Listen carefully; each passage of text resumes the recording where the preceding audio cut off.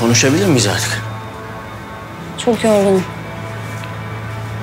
Kusura bakma ama bu sefer umurumda değil Eylül. Ne olduğunu öğrenmek istiyorum. Bütün gün bir yaralıyı hayatta tutmaya çalıştık. Çok zordu benim için. Evet. Öyleydi. Ee, O yüzden bırak lütfen. Üstüme gelme. ben senin bu tavırlarını hak etmiyorum Eylül. Ne oldu cenazeden sonra? Hı? Nereye kayboldun? Anlat lütfen. Hadi. Doğruluğundan emin olmam gereken bir şey öğrendim. Biriyle konuşmam gerekiyordu tamam mı? Oldu mu? Konuştun mu peki? Hayır. Konu ne? Hala Saf bak gerçekten sorularından çok sıkıldım.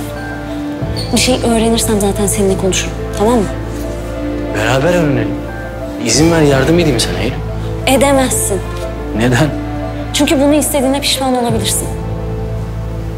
Benim seninle ilgili tek pişmanlığım geçmişte kaldı. Motora binip gittiğin o günden. Bana gerçekten yardım etmek mi istiyorsun? Evet. O zaman uzak dur benden. Rahat bırak beni. Anladın mı?